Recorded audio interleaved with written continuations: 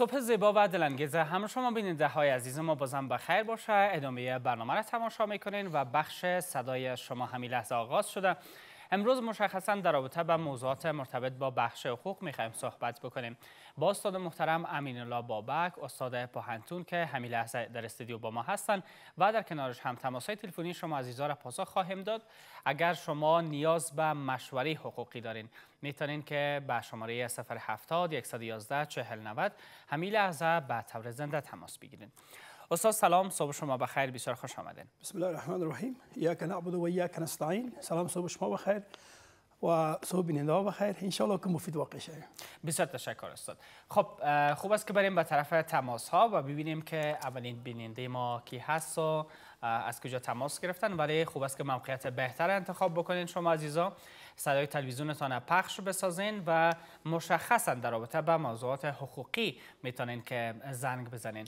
بازم شماره تماس تکرار می‌کنم 070 111 40 90 البته یک تعداد زیاد از هموطنان ما هستند که در مورد بخش متقاعدین زیاد تماس می‌گیرن یا هم حقوقشان که پرداخت نشده از بخش شهدا معلولین هم تماس می‌گیرن. خواهشان امروز تماس نگیرین چون که این موضوعات قبلا در برنامه صحبت شده و ما باید مسئولین را در برنامه داشته باشیم که اونا به شما پاسخ بدن. ولی استاد بابک صرف مشوره های حقوقی را به شما عزیزا ارائه خواهد کردن. خب میریم به طرف تماس ها و ببینیم که اولین تماس از کدام هموطن ما هستند و چه موضوعی را می‌خواین که با استاد شریک بسازن بله سلام صبح بخیر. سلام علیکم. علیکم سلام خوب هستن الحمدلله شما خوب هستین؟ بسیار تشکر بفرمایید. خب متاسفانه تماسشان از دست دادیم و میریم به طرف تماس بعدی. بله سلام صبح بخیر. بله سلام خب فکر کنم که بیننده ما صدای ما را درست نداشتن و تماس بعدی را پاسخ میتیم بله سلام صبح بخیر. تماسشان از دست دادیم و تماس بعدی بله سلام. بله. سلام صبح بخیر. متاسفانه که تماسشان قطع شد. خب دوستای ما دیگه فکر کنم فقط یک احوال می‌گیرن. خوب است که موقعیت خوب را اختیار بکنن تا ما صدایشان بهتر در برنامه داشته باشیم و صدای تلویزیونتان کم بسازین و فقط از طریق موبایل صدای ما را می‌تونین که بشنوین. و بازم میریم به طرف تماس بعدی. بله سلام صبح خیر بله سلام. علیکم سلام. خوب هستین؟ خوش آمدین. خوش باشید خیال داری؟ خوب هستی؟ جان بسیار تشکر. سلامت باشین. بفرمایید میربانی. هیچ وقت خواستم صدایت بشنم. بسیار تشکر. خب صدای ما را می‌تونید از طریق تلویزیون هم بشنوین. خب بیننده عزیز بازم می‌خوایم موضوع را با شما عزیزا شریک بسازم که در رابطه با موضوعات حقوقی اگر شما سوال دارین می‌تونین همین لحظه تماس بگیرین تا استاد امین الله بابک بر شما عزیزا مشوره های لازم را ارائه بکنن و تقدیمتان بکنن. و میریم به طرف تماس بعدی. بله سلام صبح بخیر. بله سلام بله سلام صدای ما را دارین تماس بعدی را پاسخ میتیم بله سلام صبح بخیر بله سلام تماس شما وصل شده صحبت بکنین لطفا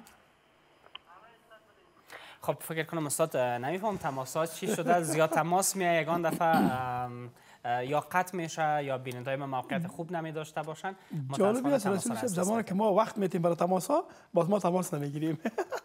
بله اما بهتر است که یک موضوع داشته باشیم. میشه روی یک موضوع روی صحبت بکنیم. روی خواستگاری صحبت بکنیم. گپ بسیار عالی است. بازم یک فرصت میتیم برای بیننده ما ببینیم که درست. تماس کدام هموطن ما وصل شده. بله سلام صبح بخیر. خوب هستین بخیر تشکر سلامت باشین. از کجا تماس گرفتین؟ از ولایت بغلان به تماس شدیم بسیار خوب امید جان. خوش آمدین. بفرمایید بخیر باشین. خواستم یک احوالتان بگیریم بسیار تشکر سلامت باشین. خب بیننده عزیز از محبت شما ما تشکر می‌کنم. قلبا همه همکاران ما از شما قدردانی می‌کنن. ولی مشخصا این بخش ما که ایجاد شده به خاطر مشکلات هموطنای ما ایجاد شده که اگر هموطنای ما یا عزیزای ما کدام مشکل دارن نیاز به مشاوره حقوقی به صورت رایگان دارن استاد در خدمت شماست و می‌تونن که به صورت کاملا رایگان به شما مشوره بدن. بله تلویزیون آریانا از برنامه صبح زندگی بفرمایید. امیر بود از خاطر سکوری چیز. نفرمایید بله. موقعیت خوب اختیار بکنین. بیننده عزیز لطفا. ما باید صاحبیم سرپوشه دکان.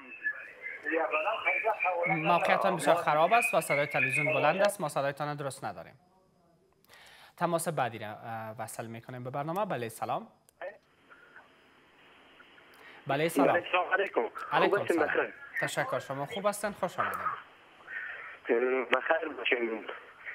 غفور هستم از ولایت قندر بسیار خوش آمدین آقای غفور. بفرمایید موضوع در- درباره شما بود که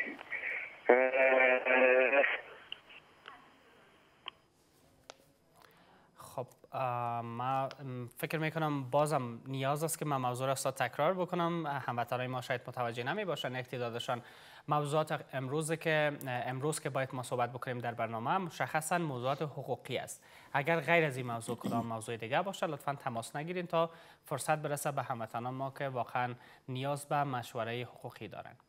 بازم تماس می‌گیریم. بله سلام صبح بخیر. سلام خوب است بخیر بسیار تشکر. خوش آمدین بفرمایید؟ سلامت باشین. بله. صدای شما را داریم؟ بفرمایید بله سلام. محترم خوب هستین؟ بخیر؟ تشکر سلامت باشین. کاملا خوب هستم. مهربانی.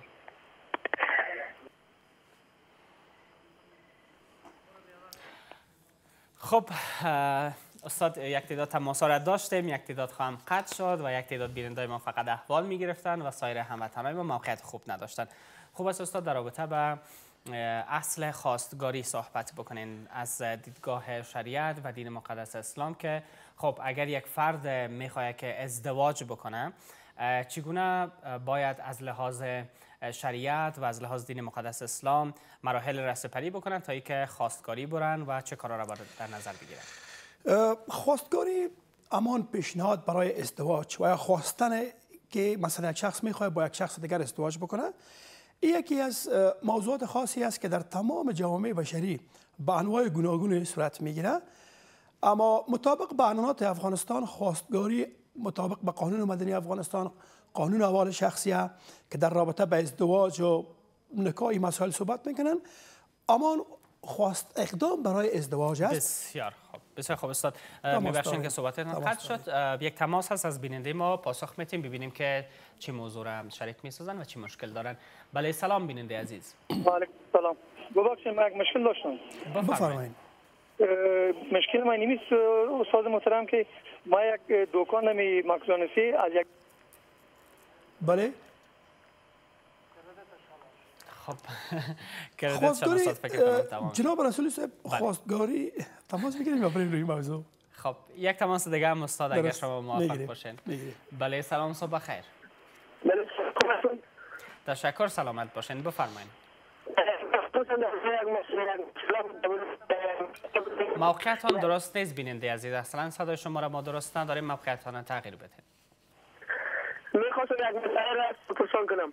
بفرمایید کسی بود که مردم سوریدیم که سواری آورده در رادیو غرق میشه؟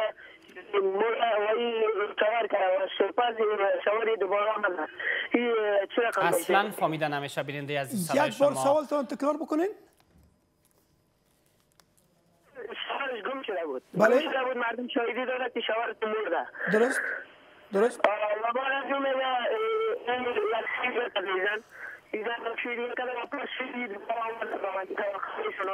درست. این شوار از اینا سوال شما را ما گرفتیم. اه، شوار از اینا چه, چه, چه مدت چند سال گم بوده؟ تقریبا دو سال گم بود؟ دو سال گم بود سی سال و یا دو سال؟ دو سال دو سال. دو سال. درست است. بیننده برنامه باشیم برتان جواب ارائه می‌کنیم. تشکر می‌کنم از بیننده ما و تماس بعدی را. پاسخ میتیم بله سلام صبح خیر بله سلام. سلام برسه شما خوب بخیر. تشکر سلامت باشین. امیدوارم شما هم خوب باشین. بفرمایید قربانتان سلامت باشین. ببخشید من یک مشکل داشتم. که بفرمایید به ارتباط بی که من دو سال میشه یک دختر من نامزاد کردیم درست بله و این دو سال میشه که نامزادرسی کرده ای بالاخره شوهر در ترکیه است. شوهرش چی است؟ در ترکیه است. بله. درست؟ آه، شوهر در ترکیه است. ای خود دختر است. خواستم ایران بخواهیم بشن ما این دختر که یک طریق ایران ببریمشان ببره ترکیه ببره و این دختر ما بردم ایران بردم. و فعلا یک نیم سال است که در ایران همه تو مانده و این را هیچ نکدام خرچ میتن نکدام کمک می‌کنن. و این دختر میگه که تو چیز کو اه، خودت در قاچاقی بیا ترکیه بیا خودت قاچاقی ترکیه بیا و پدر مادرش این ادعا داره که بیادر ما نمی‌خوایم از دخترت تو بیادر. این چیزی که مصارف کردیم همین همه مصارف ما را بناهن معظمی لحاظ ما خواستم که به شما یک زنگ بیم و ما نظر حقوقی برای ما یک مشوره بکنیم حتما حتما حتما البته ما یک کمک صدا شما درست نامد. دختر شما نکاح شده. درست خلوت صحیحه صورت گرفته. ازدواج بله. کرده. درست. بله. شما بیننده برنامه باشین براتون خیلی جواب ارائه می‌کنیم. درست. تشکر می‌کنم از همه بینندگان ما. فرصت دو کم سوال مانده است. بله دو. سوال است که کم به تفصیل نیاز داره. برادر تماس گرفتن که شوهر مفقود بوده و مردم گواهی داده که اینا شوهرتان فوت کرده و این خانم دیگه شوهر گرفته. این یک موضوع حقوقی است. موضوع حقوقی خیلی خاصی است. مطابق به قانون مدنی افغانستان که اگر زمان شوهر مفقود الاثر می شود و یا گم میشه اینمی مطابق قانون, اف- قانون مدنی افغانستان پنج سال وقت داره. اگر تا پنج سال شوهر پیدا نشد این خانم میره به محکمه به قاضی اعتراض می‌کنه که شوهر من مفقود است و مفقود الاثر است. اصلا ما کدام از او هیچ کدام سرنخی نداریم. و شواهد هم است که فوت کرده. شواهد خیلی مسق باید باشه. بعد از او باز محکمه به تفریق حکم می‌کنه. یعنی طلاق حکم می‌کنه. تفریق که از شوهرشان خط برشان میده که شما دیگه آزاد زندگی کرده می‌تونین. اما اینا دو سال دو سال بعد شوهرشان که نیامده اینا ازدواج کرده که یک موضوع حقوقی و موضوع جنجالی است که اصلا نباید کار صورت می‌گرفته. این نکان نباید می‌کرده. اگر بازم یک خوب گپشی است اگر بازم یک موضوع فقهی هم در حین حال اه، رسولی صاحب اگر بازم اگر اونمو خانم شوهر دومی از اینا رو طلاق میته و شوهر اولیش راضی به است که با این زندگی ادامه بده مشکل نیست. اگر اونا توافق مهم است. توافق مهم است و او شوهر اول متضرر شده. و اینا هم در یک مطابق فقط مطابق قانون پنج سال وقت داره. اگر شوهر بندی میشه شوهر بندی میشه خانم بعد از پنج سال بعد دمیت یک حالت می‌تونه گفته که من دیگه شوهرم 20 سال قیدش برآمده و فعلا ما پنج سال گزاره کردیم. دیگه گزاره کرده نمی‌تونم. محکمه به تفریق از جا حکم می‌کنه و شوهری که مثلا یک موضوع خاص است در حقوق. میشه که اینا اون توافق است که شوهر دومی که اینا گرفتن اینا طلاق بتن اگر شوهر اولی اینا رو قبول می‌کنه چرا که این قصدن نشده. اما چیزی که اشتباه شده توسط خانم اشتباه شده که اینا دو سال صبر نکردن یک چند سال که باید و اگر اگر اینا گفتن که ما شواهد داشتیم مدارک داشتیم. شواهد مدارک باید مسق می یقین کرده. اما خانم ما ملامت نیست. خانم کسی ملامت کرده نمی‌تونه اما دو سال بعد که اینا به سر افغانستان از مشکلات اقتصادی که داشته کدام پیشنهاد برش آمده اینا ازدواج کرده. میشه که با علمای دین هم یک مشوره بکنین. یک موضوع کمک فقهی هم است مرتبط به فقه است. اما قانون پنج سال